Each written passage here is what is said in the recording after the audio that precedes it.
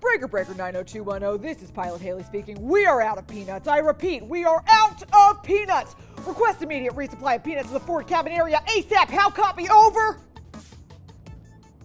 Oh, hey, Tabernauts. Sorry, I was just doing some really important plane flying stuff. Have you ever wondered how a plane flies?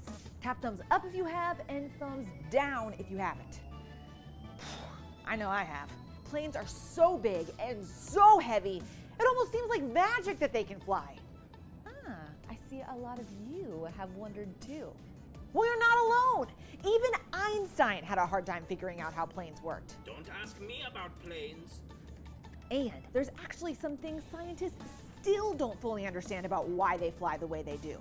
But don't worry, one thing we know for sure is that they do fly. So that's good. Here's how they do it.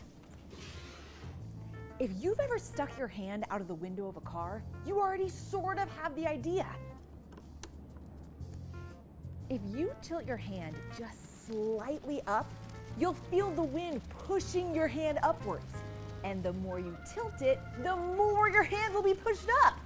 Of course, there isn't technically any wind, but it feels the same because the car is moving so fast.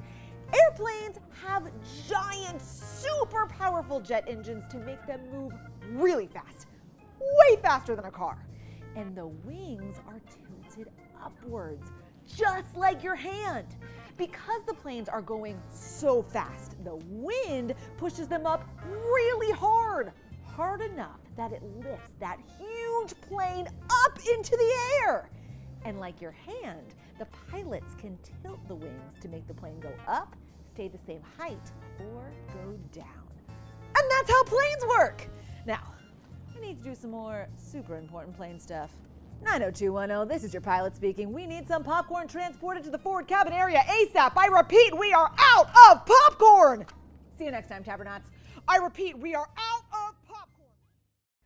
That was awesome. If you want to learn even more, you can find hundreds more experiments, lessons, and activities by asking a parent to go to tappityapp.com. We can't wait to see you there.